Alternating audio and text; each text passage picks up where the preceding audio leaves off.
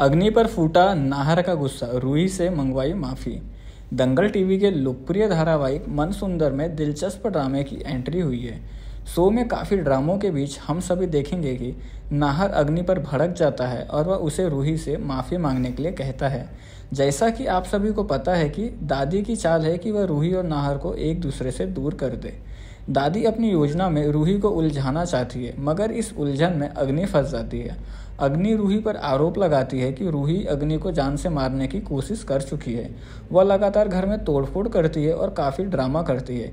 इसके अलावा रूही को बहुत भला बुला भी कहती है। बस यही सब सुनकर नाहर का गुस्सा, नाहर का गुस्सा अग्नि पर फूट पड़ता है और वह उससे कहता है कि, तुम्हें ऐसा क्यों लगता है कि रूही तुम्हारे पीछे पड़ी है? गुस्साए नाहर का पारा चढ़ता देख रूही उसे शांत कराने की कोशिश करती है, मगर नाहर चाहता है कि अग्नि रूही से माफ़ी मांगी। अब देखना यह दिलचस्प होगा कि क्या अग्नि रूही से माफ़ी मांगेगी। आपको क्या लगता है? हमें अपनी राय नीचे कमेंट सेक्शन में बताएँ और अधिक अपडेट प्राप्त करने के लिए बने रहे आई बस के साथ।